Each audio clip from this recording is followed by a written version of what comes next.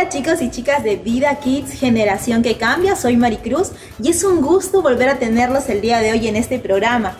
Prepárate para toda la diversión que viene. Tenemos a Robert, a Petunia, a Toribio en este segmento. Así es que vamos a disfrutar la canción que viene juntos mostrando el amor de Dios y no nos vamos a perder del tema muy interesante del día de hoy, fuente de sabiduría. Empecemos. Es el día que hizo el Señor. Oh, oh, chicos, buenos días. Bienvenido al nuevo programa de Vida Kid. Aquí, preadolescente. Ay, voy a presentar. Bueno, antes de presentar el programa, les cuento que estoy esperando a Petunia. Sí, chéveronga. Petunia, esa chica tan linda, gringuita. Seguro va a pasar por aquí y yo le quiero hablar, le quiero decir lo que siento. ¡Ay, no! Pero mi sensei Kaden me ha dicho que no estoy en edad. ¡Ay! Pero, pero, pero, no se va a enterar. Voy a hacer ejercicios antes que venga Petunia. Una, dos, porque he visto en el internet que los chicos musculosos siempre están rodeados de chicas bonitas. Dos, tres, cuatro, cinco, seis, siete, ocho, ¡Hola, nueve. Robert! ¡Ay! ¿Quién? ¡Ay! ¡Robert!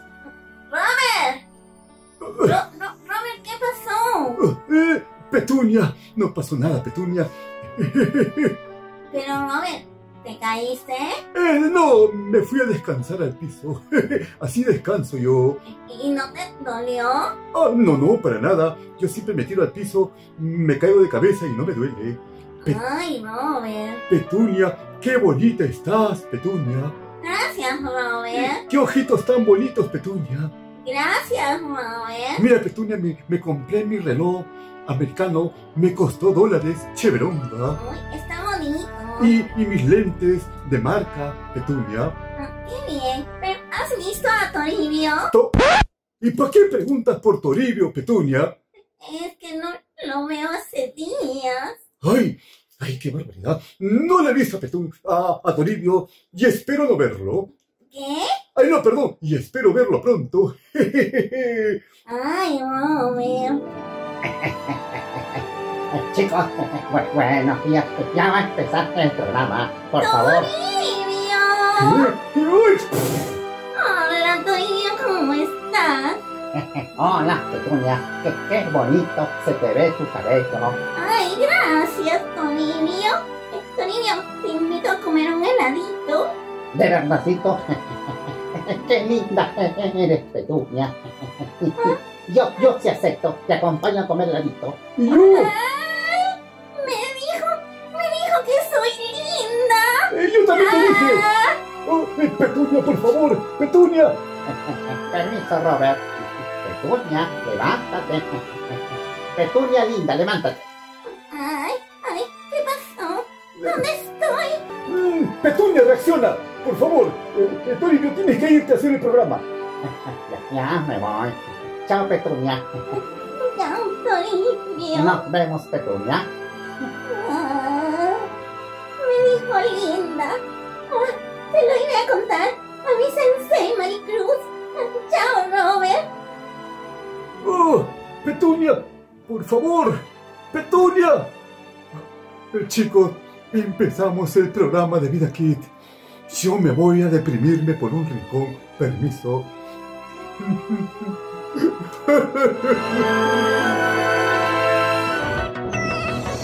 Tanto Petunia como Robert y Toribio no están en edad de estar enamorándose. Deben disfrutar de una linda amistad en Dios y no confundir sus sentimientos. Dios les va a guiar a identificar lo que pasa en sus mentes y en sus corazones. Y también te lo digo a ti, querido jovencito o jovencita que nos ves en esta mañana. Ahora nos preparamos para alabar y confesar juntos que nuestro Dios vive en cada uno de nosotros.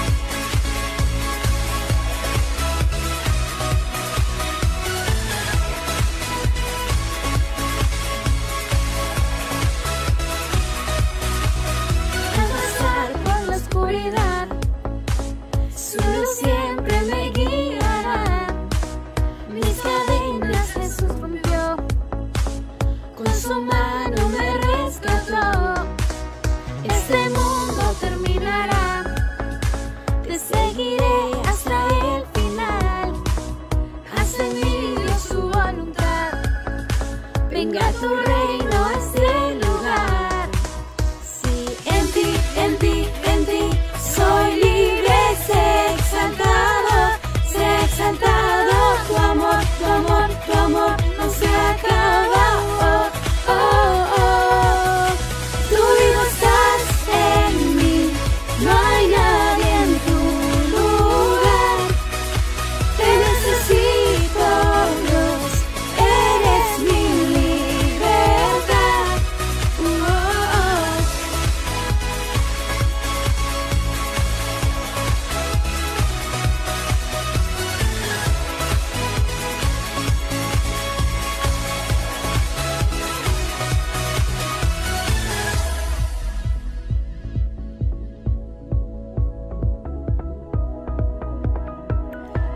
En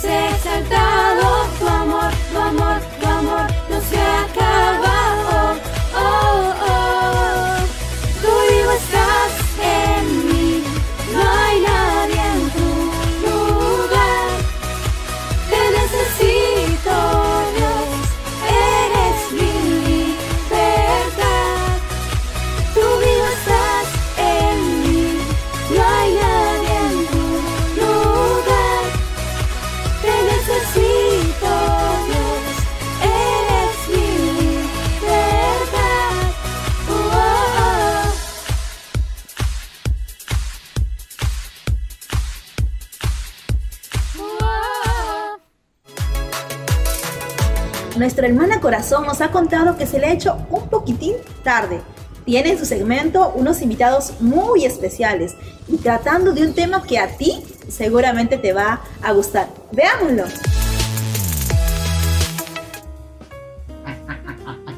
¿Listo? Producción. Vamos a empezar el programa de la hermana corazón. A ver, a ver. Ah, ¿Dónde? Pero no han prendido la cámara. ¡Qué barbaridad! Hay que prenderla. ¡Listo! Ahora sí. A la una. ¿Dónde está el anunciador? A las dos. ¡Ay, qué nervio! Somos producción. Tenemos que ser bien eficientes. ¿Listo? ¿Listo? Ahora sí. El anunciador. Señoras y señores, presentamos el segmento más esperado. Cuéntale tu roche a la hermana corazón.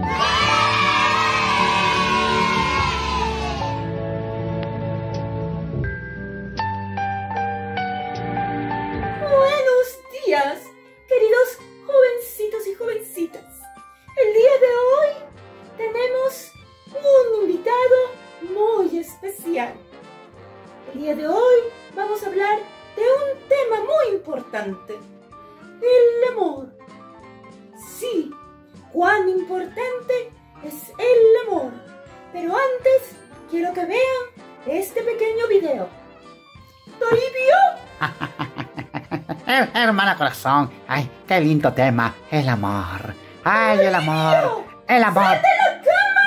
Ay, ay, ay, ay, el amor, el amor, eh, el amor acaba. Toribio, Ay, pon sí, sí, el video. sí, sí, eh, voy a comer el video. Eh, vamos con el botón. Listo, ahí está el video.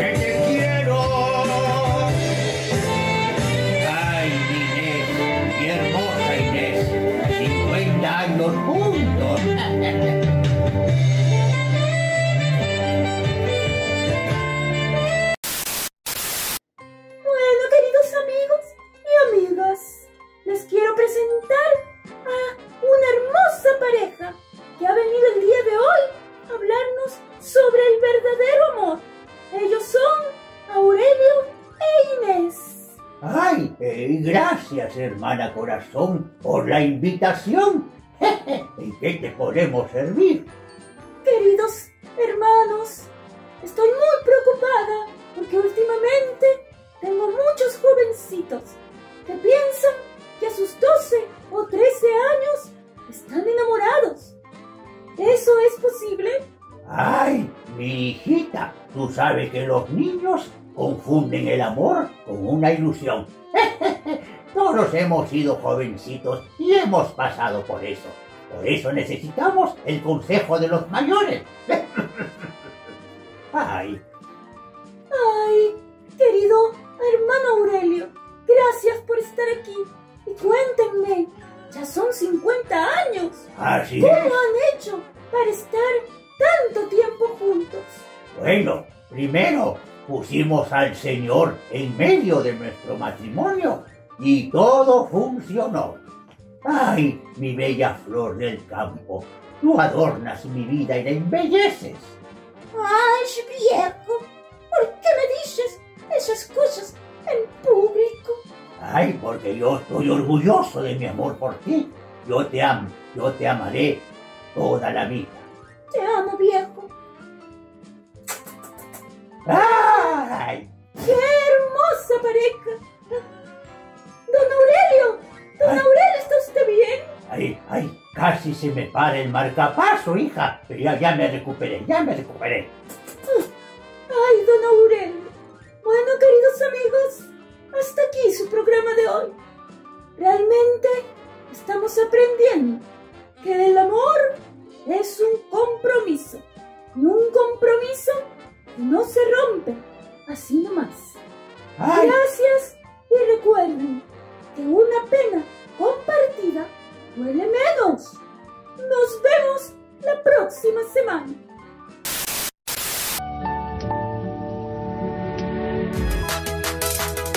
Muy bien, como nos contaban los abuelitos Inés y Aurelio, no confundamos amor con ilusión. Ah, y si quieres contratar las serenatas del abuelito Aurelio y los chicos del CAP, pásanos la voz. Ahora tenemos la parte más linda del programa, la reflexión bíblica. ¿Estás súper atento? Buenos días chicos y chicas de Vida Kicks. Cada domingo es una alegría encontrarnos en este lindo programa. Hoy tenemos una palabra del Señor para tu vida. Prepara tu corazón. Vamos a orar. Señor, te doy gracias por la vida de cada uno de los niños que nos está viendo en estos momentos. Te pido, Padre, que tú les ayudes a entender tu palabra. Obra en sus mentes y en sus corazones para que puedan entenderla y aplicarla en sus vidas. Gracias, Señor. Amén. Bien, el tema es la fuente de sabiduría. La sabiduría es definida como el grado más alto del conocimiento. Así es, y te da una conducta prudente en la vida o en los negocios. En el Antiguo Testamento encontramos a Salomón, el hombre más sabio y autor de la mayoría de proverbios. Y él escribió Proverbios 4.7. Antes que cualquier otra cosa, adquiere sabiduría y buen juicio. ¿Conoces a alguien que se considera sabio pero actúa como un necio? La sabiduría se reconoce en el carácter de una persona. Mateo 7, 16, 17 nos dice, Ustedes los pueden reconocer por sus acciones, pues no se cosechan uvas de los espinos ni higos de los cardos. Así, todo árbol bueno da fruto bueno, pero el árbol malo da fruto malo. Jesús nos recuerda que un árbol es identificado por el fruto que produce. Asimismo, cada uno puede examinarse y saber si es una persona sabia por la forma en que actúa. ¿Y cuál es la fuente de esta sabiduría? Santiago 3, versos 13 a 17 nos dice, si entre ustedes hay alguno sabio y entendido, que lo demuestre con su buena conducta, con la humildad que su sabiduría le da. Pero si ustedes dejan que la envidia les amargue el corazón y hacen las cosas por rivalidad, entonces no tienen de qué enorgullecerse y están faltando a la verdad. Porque esta sabiduría no es la que viene de Dios, sino que es sabiduría de este mundo, de la mente humana y del diablo mismo, donde hay envidias y rivalidades, hay también desorden y toda clase de maldad. Pero los que tienen la sabiduría que viene de Dios llevan ante todo una vida pura y además son pacíficos, bondadosos y dóciles. Son también compasivos, imparciales y sinceros y hacen el bien. Santiago nos habla de dos tipos de sabiduría, la sabiduría de Dios y la sabiduría humana, influenciada por el diablo y el mundo. La sabiduría que se basa en las propias ideas, deseos y normas del hombre es sabiduría humana. Esta sabiduría no reconoce la soberanía de Dios, la voluntad de Dios ni la verdad de Dios. Su motivación son los celos, las ambiciones, la envidia, el egoísmo y toda práctica de maldad. En cambio, la sabiduría de Dios no es cuestión de cuánto se sabe, sino de cuánto se confía y ama y obedece al Señor. El versículo 17 dice, pero los que tienen la sabiduría que viene de Dios llevan ante todo una vida pura y además son pacíficos, bondadosos y dóciles. Son también compasivos, imparciales y sinceros y hacen el bien. Esta sabiduría no se centra en nuestros deseos, sino en la voluntad del Señor que es buena, agradable y perfecta. Gracias a esta sabiduría somos mejores personas cada día. ¿Y cómo conocemos la sabiduría de Dios? Solo la Biblia es nuestra fuente de sabiduría celestial. Oyendo, leyendo, estudiando, memorizando y meditando en la palabra de Dios, viviremos en esta sabiduría. Veamos el siguiente video.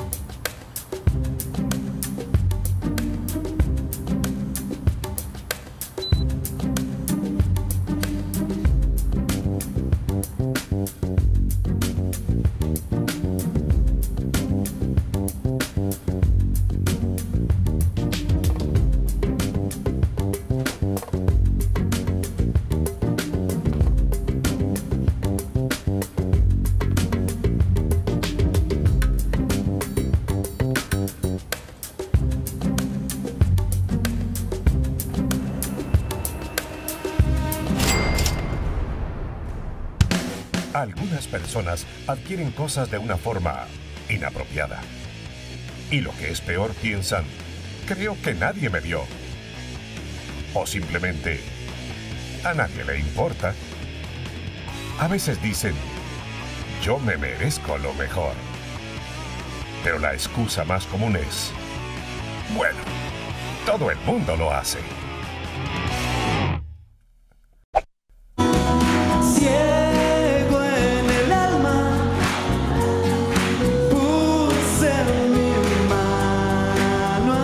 Como en el video, muchas veces nos sentiremos tentados a seguir la sabiduría humana.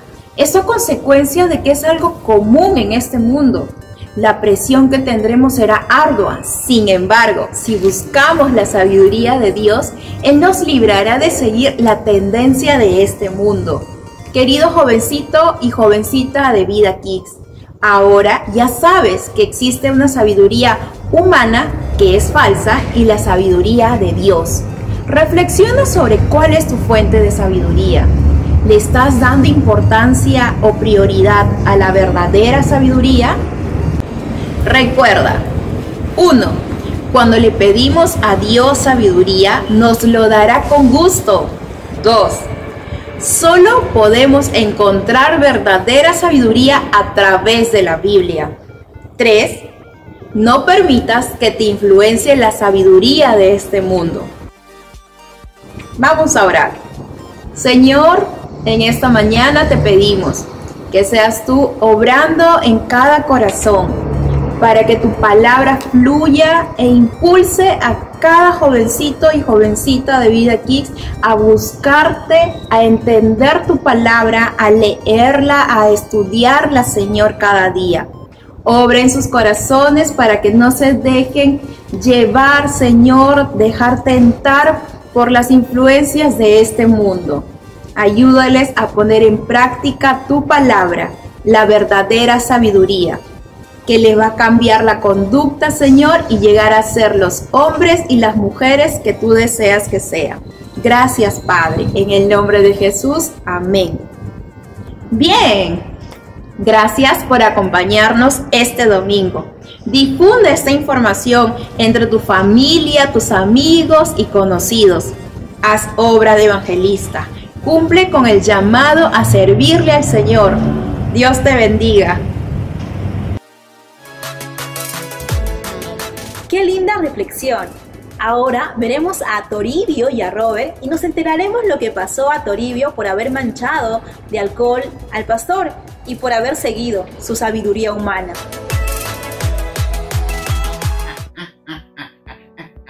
Hola, mi querido Robert. Oh, mi querido Toribio, qué gusto me da verte. Sí, aquí estoy, listo y preparado para ir a limpiar, porque el pastor Charlie ya me puso mis tareas. Oh, qué bueno, ¿qué te dijo? Que limpie el patio del colegio, la iglesia, los baños y la pista que está frente a la iglesia. y estoy muy feliz. Oh, Cheronca, yo te voy a ayudar. Y también quiero decirte algo. Sí, sí, Robert, dime, dime. Hoy estoy feliz por el programa. He descubierto algo. Bravazo. ¿Qué descubriste? Ah, descubrí que yo puedo aprender de las personas mayores. Ah, wow. Yo puedo pedir consejo y ellos me van a dar lindos consejos. Sí, yo también. Yo también quiero aprender. Ahora entiendo algo. ¿Qué, qué cosa entiende? Ya sé ahora, mi guía, mi capitán, oh mi capitán, mi sensei, oh, por eso él tiene mucha sabiduría, él tiene grandes consejos, ¿Y por qué será? porque ya es adulto mayor.